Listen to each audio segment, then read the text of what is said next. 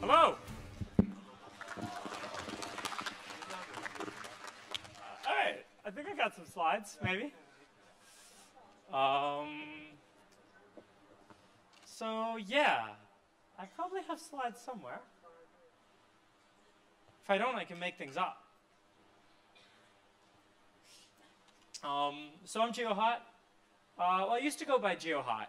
Uh, you know, I, I, came up with that uh, in my high school. I was GeoHot because George Hotz. You take the first three letters of the first name and the uh, first three letters of the last name, and you get GeoHot. And you know, when I was 17, uh, my senior year of high school, my, my girlfriend broke up with me. She was the first girl that I really loved. Um, it, it's true. And uh, I needed something to, you know, take my mind off of it, right? Um, so fortunately, that same year, Ah, there you go. Uh, fortunately, that same year, the iPhone came out. Um, so the iPhone first came out. It was only available on AT&T in the U.S. They have a lot of carrier locking for the iPhone. Uh, I had T-Mobile, and I wanted to make the phone work on T-Mobile. This was not out of any sort of practical consideration. I could have bought an AT&T account. It was more about, well, you know, sticking it to the man, right? You know what I mean? Like, that's why I do this stuff. Here's Apple. They lock the phone. They say it's on AT&T. How do you stick it to the man and uh, make it work on T-Mobile? So um, I press the button, it doesn't go. Oh, okay. Maybe if I hold it like this. Um, so the first unlock of the iPhone was a hardware unlock. You had to open the iPhone up. And the way it worked is the boot ROM in the uh, baseband, there are two processors on the iPhone. There's one processor for the applications and one processor for the cellular radio. I believe this is still true today. Uh, so what you would do was this boot ROM would check for the existence of a bootloader. It would look for this bootloader in these certain addresses, and if the bootloader was there, it would jump to it. And if it wasn't there, it would go into this debug mode where you could upload anything you wanted. So what we did was we erased some other chunk of the flash, pulled one of the address lines high, and then when it thought it was reading from the bootloader, it was actually reading from the other chunk of flash, which was empty, and then the phone would go into debug mode. Now, you have to think about, like, I'm 17, and how did I do this, right? How, how was I the first person to, to unlock the iPhone? And to this day, I still kind of don't really know. Um, but, you know, fortunately, it's very motivational when you win. I love, I love winning. I'm a big fan of, of winning. Um, so it, it gave me a lot of motivation to work on the. Is this working, or are you guys just advancing the slides when I hold it up?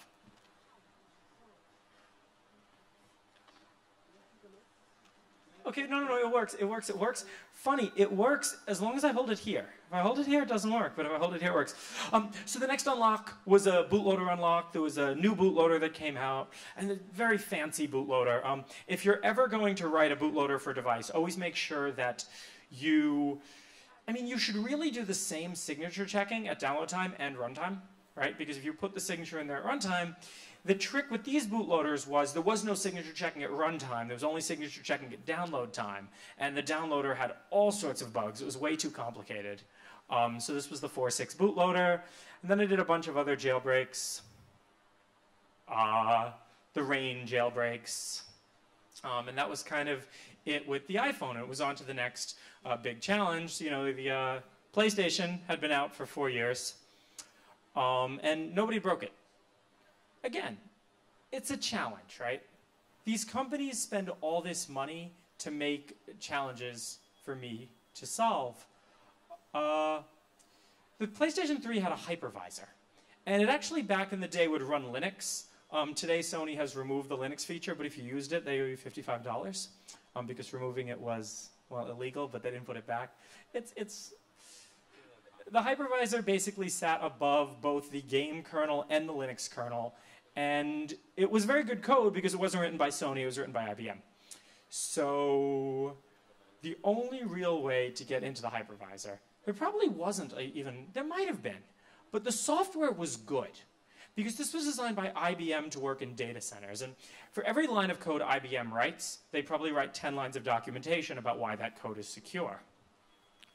Uh, so the hypervisor, the way I ended up breaking it was by glitching the physical memory.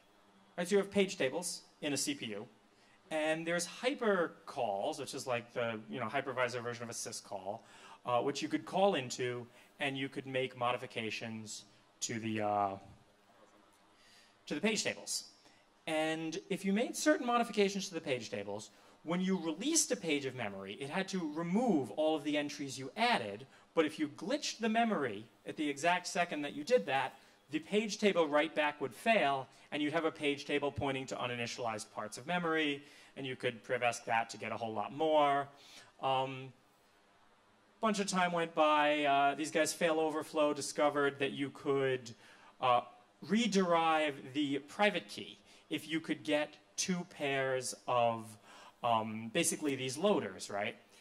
Uh, and you could do this for like the kernel and stuff, but I wanted to get the highest level key. So I found an exploit in the met loader, um, grabbed two loaders with the met loader, used the fail0verflow trick, and got the full root key for the PlayStation 3. Uh, Sony was not very happy about this, and I ended up getting sued. Um, who would you rather be today, Sony or Apple?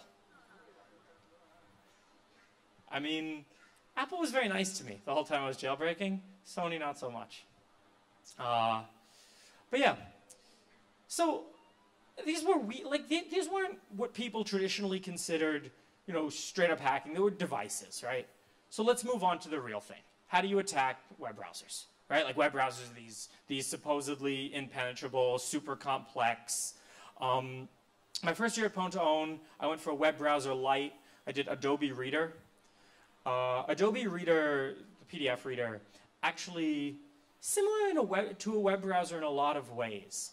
Um, the exploit that I used for the first stage was, a, it wasn't even a zero day. It was a one day because Adobe Reader used an old version of SpiderMonkey, which is uh, the Firefox JavaScript engine.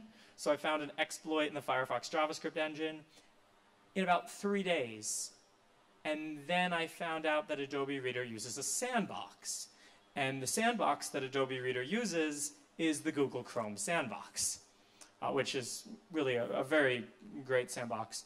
Um, there's a few ways to attack it, but fortunately, Adobe added their own calls to the sandbox, and there were clever bugs in the Adobe code.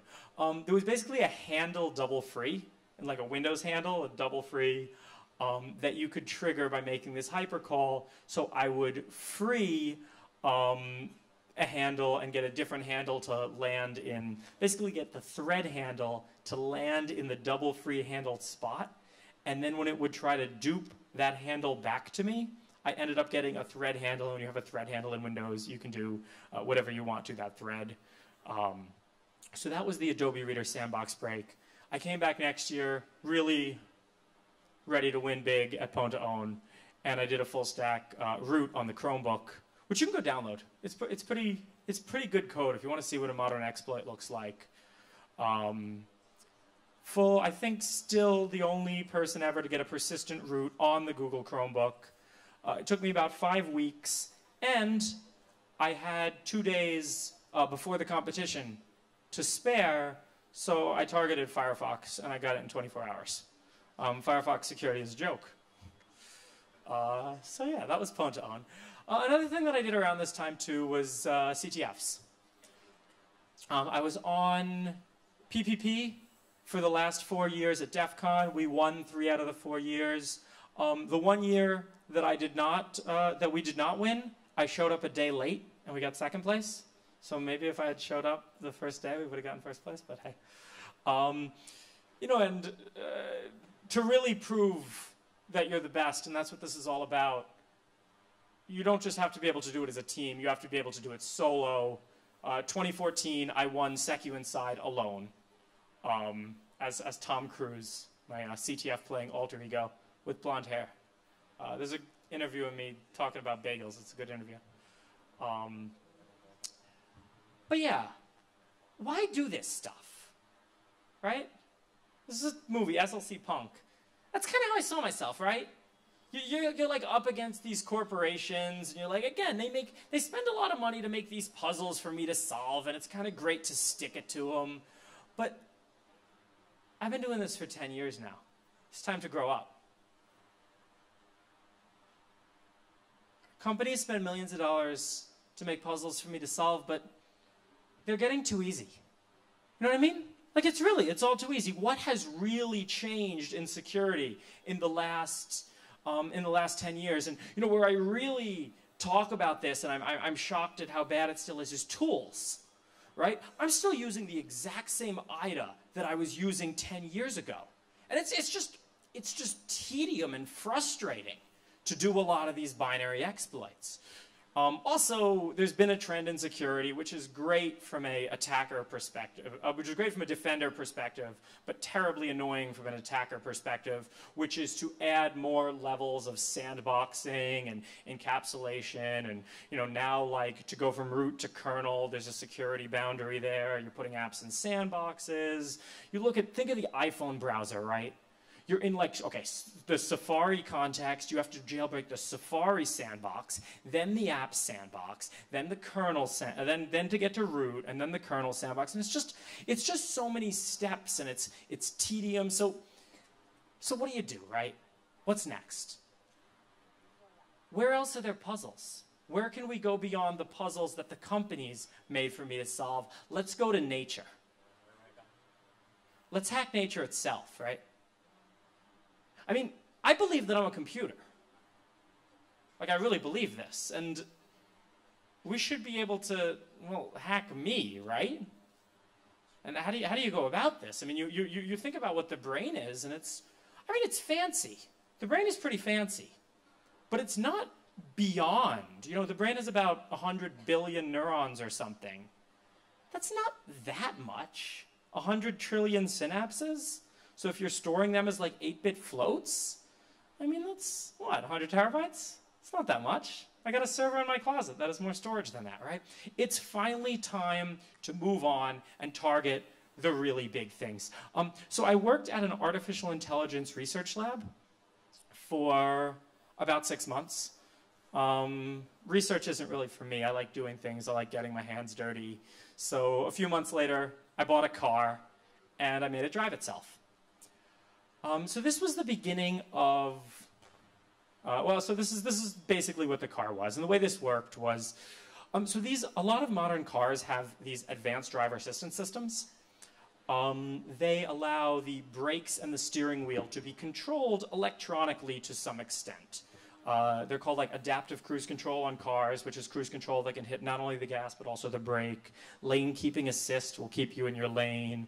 Um, these were controlled by this little camera module on the car, so I ripped out the camera module, uh, figured out what CAN messages were being sent, and um, you can see over there, my glove compartment there, I have a CAN transceiver module, which is basically just sending the exact same message that the camera module used to send to control the brakes and steering wheel of the car. I mounted a 21.5 inch touchscreen in there. It's 4.5 inches bigger than Tesla.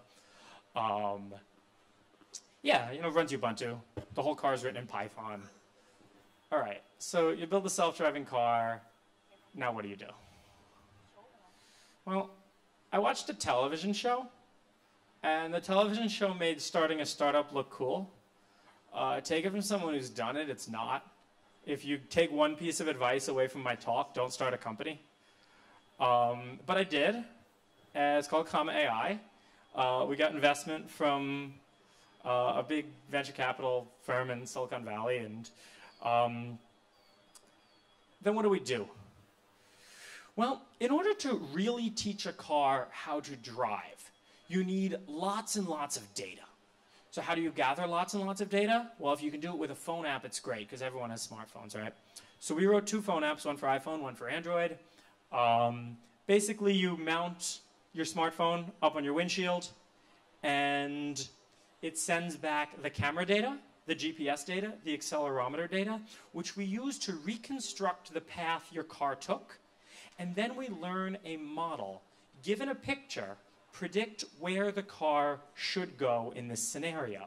And we don't have to hand label anything. It's all automatically ground truth because we have the path the car actually took. Most drivers are, by definition, good drivers, right? I mean, if they were not, well, maybe their phone wouldn't have lived to upload the data to me. Um, so, hey, it's like natural selection, you know what I mean? I guess the really bad data would never make it back. Um, but yeah, so we gathered almost uh, half, a million, uh, half a million miles of driving data. This is about double what Mobileye has, maybe a quarter of what Google has. Tesla has a whole lot more, but remember, they don't actually get the video back. So we're getting the video back from all of these. We put these into a huge machine learning algorithm, and now we have a car that drives pretty well. What do we do? Figure out how to ship it to everybody. So this is the Comma One. I mean, I see these things are pretty popular in China, these smart rear view mirrors. Like these, um, I saw the, my driver who picked me up from the airport had one of these things.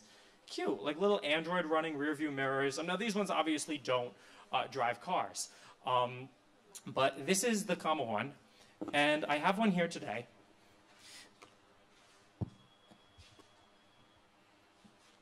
Wow, 他带了宝物啊！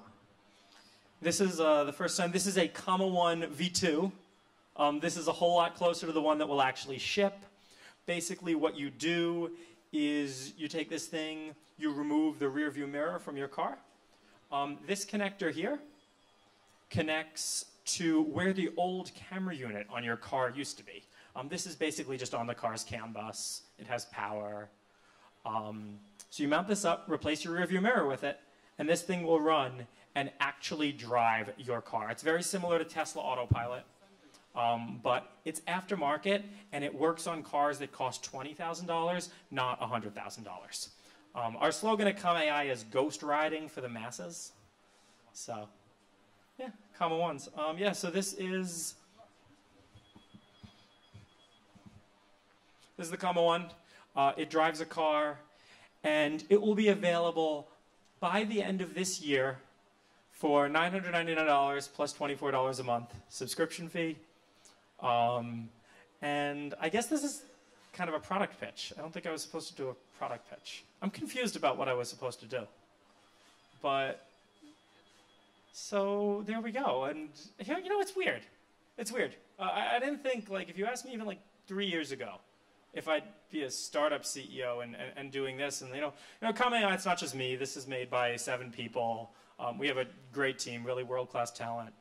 Um, and yeah, we're trying to ship and we're trying to, I mean, it's the same game, right?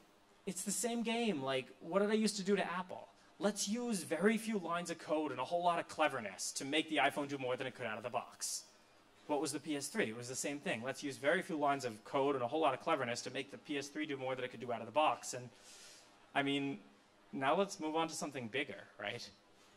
smartphones and video games are, are cute, but like cars, this is this is potentially a you know multi-billion dollar industry. Uh, I mean, I guess smartphones and video games are multi-billion dollar industries too, but uh, in a different sort of way, right? Like this is also a potential path to AI, right? Imagine having this huge network of cars out there collecting data about the real world and all learning from each other. Every comma one has an LTE radio in it. This LTE radio sends all of the data that it collects back to the cloud, where it's processed by our machine learning algorithms, where it's condensed down into a model, and then this model is sent out to the comma ones. They are literally all, once we launch them at the end of the year, going to be learning from each other, right? And like like in a very serious way, right? Maybe all the Furbies learn from each other too, but I mean, this is really, I think, how you start to uh, take a stab at huge problems in artificial intelligence, right? You take massive, massive amounts of data. As learning algorithms get better, you'll need less data, but you know, for now, we have not the best learning algorithms. Um, also, when you look, when you look, when you compare human to the artificial neural networks of today, um, you're off by like a, a factor of a million right? The artificial neural networks, just from a hardware perspective, are a whole lot weaker. But even with the much weaker, I mean, algorithms, we can, I think, do at least everything a human can do while driving a car unconsciously. Once you get into the more conscious behaviors, um, it's unclear if modern artificial intelligence has really solved that problem yet. But, I mean, that's the adventure, right? So, yeah. I'm George Hotz. I used to play a character named GeoHot on the internet. Now I play a startup CEO of Comma AI, and that's my talk. Hold on. George? 呃，I have some question to. Yeah, cool. OK。没想到他是来做做做广告的啊。Never thought that he's here to make an advertisement. 同样不要翻译。反正没听不到没关系啊。我替大家，我替大家问几个问题。I would like to ask some questions for audiences. 来之前，其实我看到国内很多人已经把它定义为 Before he come here, we define him as a grassroots experts. He can hack so many things. That is remarkable. And he's a great scientist. So he's capable of hacking so many things. How would you see your achievement as hacking nature comparing to other people doing AI? How do you see your achievements.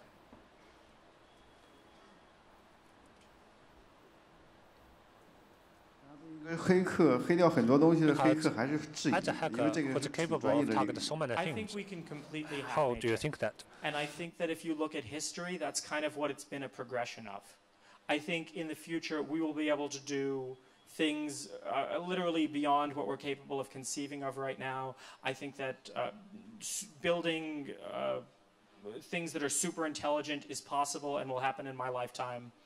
Um, and I'm very excited about the role I can play, and I mean what it's all going to look like, right? We live in a very exciting time, and I mean I'm very excited about it. Um, so, what do I think it's possible? I'm a naturalist. I believe that I'm a machine, and I believe that I can build better machines than myself.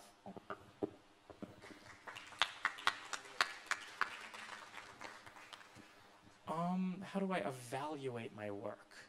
Well, I mean, so it's going to be, it's, this is not going to be solved in five years. Um, self-driving cars might be. So self-driving cars, like a lot of people say about AI, um, that AI in some ways is almost defini definitionally what we haven't solved yet, right? Remember when people in the 50s thought chess was AI? And then, you know, humans lost to computers at chess and, oh, that's just search, right? And then people thought, well, Jeopardy was AI because of the nuance of language. And then humans lost to computers at Jeopardy. And oh, well, you know, that's just big data. And uh, but they'll never be able to understand the subtlety of something like Go. You know, perception is AI complete. And now with deep neural networks, Go has fallen, classification has fallen. Like things will start to fall one at a time. Um, I think self-driving cars is one of the next potentially really big ones and that's why I'm here and that's why I'm doing this. But yeah, how do I evaluate it? Once comma ones are driving people's cars, it'll be a success. Okay. How do you think the security of your product? Anyone can hack it? I mean, you can try. Uh, you, no, seriously, you can try. Uh, I'll be impressed. Um, it's it's decent. Uh, so the comma one, unfortunately, does run Android. Um, parts of Android. A lot of it's been ripped out. Um, if you want, it uses a Qualcomm Snapdragon 820, and if you're running a Snapdragon 820, you pretty much don't have a choice. You have to run Android.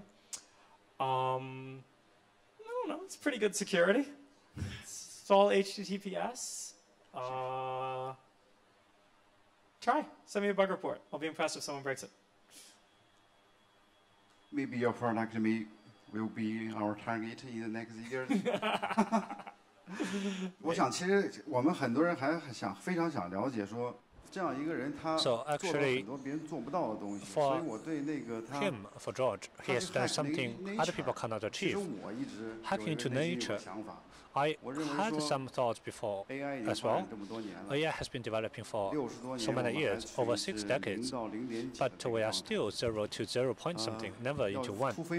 If we want to make a, a solid breakthrough, we can only rely on the innovative hackers. I do want to know what is Hotz's expectations towards AI in the future. You hack into the brains. What uh, do you foresee AI to be? So how sophisticated your hacking can be in the future?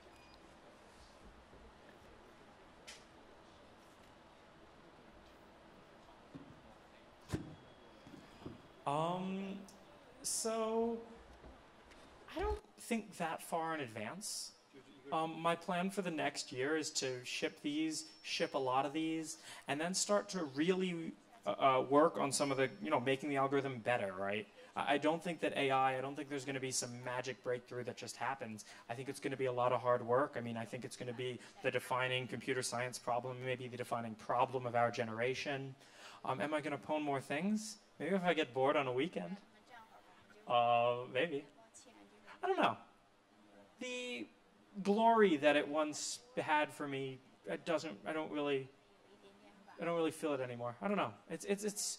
Maybe when something comes out that's really challenging. Um, maybe when people get actually good at security and people think things are unbreakable. Everyone knows everything's breakable today. I proved my point.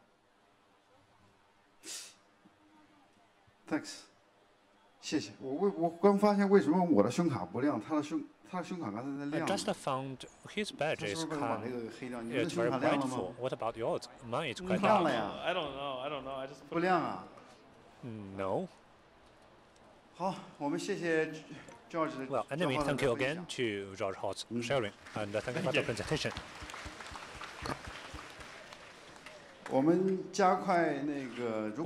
need to hurry up because we are very much delayed the schedule. So any questions, please talk offline. Don't forget to have the signed GeoHot T-shirts. Don't forget that we will have a lucky draw later. 那个接下来要进行的一个项目呢实际上和 Joe Hot 有关系。我们知道在。他之前没有人把 iPhone 给越狱。在他之前没有人把 broken iPhone。No one has broken PlayStation。但是今天下一个节目就是咱们中国的两位小伙子今天要试着越狱最新的索尼 PS4 我们可以看他们能不能做到。Let's see, can they do it 我们先有请我们两位选手 Sleeper Now let's have uh, two of our young men, Yang Kun and Sleeper.